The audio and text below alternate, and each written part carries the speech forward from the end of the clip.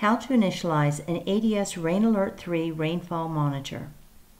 The steps for initializing a new Rain Alert 3 rainfall monitor include gathering the following equipment a computer, a Rain Alert 3 rainfall monitor, a Rain Alert 3 USB Direct Connect cable, and a SIM card for wireless communications as needed.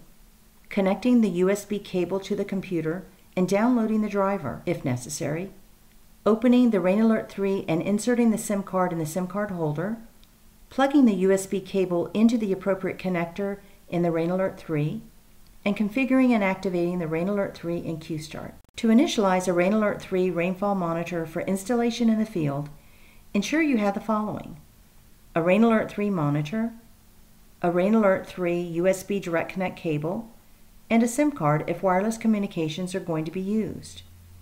You will also need a computer with QStart 1.5 or higher installed.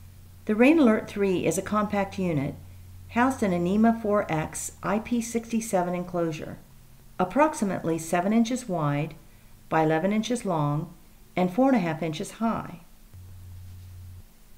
To open the unit, unhook the two clasps on the right-hand side of the housing.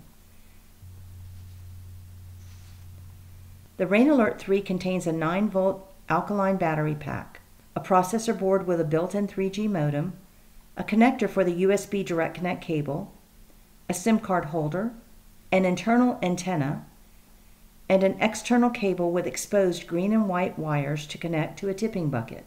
A new Rain Alert 3 must be activated serially before it will communicate wirelessly. But before you activate serially, go ahead and note the IP address of the SIM card provided by ADS or other SIM card provider and insert the card into the SIM card holder. Installing the SIM card before monitor activation will ensure the monitor connects to the wireless network shortly after it is activated. The Rain Alert 3 uses an ADS USB Direct Connect cable, using the same driver as a USB cable for the Triton Plus monitor. Ensure the appropriate driver is downloaded to the computer before plugging in the USB cable. Instructions for downloading the driver can be found on the inside cover of the Rain Alert 3 enclosure. Once the driver is downloaded, plug the USB cable into the computer and into the open connector on the upper left-hand side of the processor board. Once the USB cable is connected, open the ADS QStart software. Go to the settings page and verify QStart version is 1.5 or higher. Also verify that the serial port is set to the correct port where the USB cable is installed. If you have any questions about the port, verify the port number in Computer Management under Device Manager and Ports. After the settings have been verified, set up the Rain Alert 3 location in QStart. Select New. QStart's default location information will display. Next, enter the name of the Rain Alert 3 installation.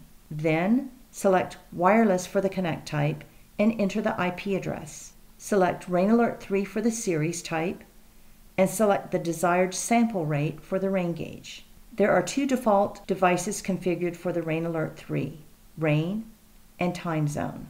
Select Rain and View to open the Rain device screen. Verify or modify as necessary. Unless the Rain Alert 3 is going to be configured to send out notifications when its rain intensity exceeds a certain threshold, there is no need to enable the Alarm section of the screen. Next, select Time Zone and View to open the Time Zone device screen. Select the appropriate time zone for the Rain Alert 3 installation and indicate whether daylight savings time is used. The Rain Alert 3 configuration is now complete. Select Save to save the completed Rain Alert 3 configuration. Then change Connect from wireless to serial in preparation for monitor activation. Select Activate. QStart will connect serially to the Rain Alert 3 and activate the monitor. The red Connect button will change to a green Hang Up when the monitor responds to the communication request. An Activate Successful will display in the lower left-hand corner of the screen when it is complete. Two LEDs on the processor board will light during the activation process, indicating communication and monitor activity. Once the activation is complete, select Hang Up. When the activation is complete and the serial communication has ended, the monitor will attempt to connect to the wireless network. While it is attempting to connect, the upper LED light will turn solid green. Once it has connected, the LED will begin to flash green. Once the upper LED is flashing green, change the connect type back to wireless and select status. QStart will then connect to the Rain Alert 3 and display a current monitor status. After the status screen displays, close the status screen and select Hang Up. The Rain Alert 3 is now ready for field installation. For more information on how to initialize and install a Rain Alert 3 rainfall monitor, refer to the ADS Rain Alert 3 Operations and Maintenance Manual or contact ADS Client Services.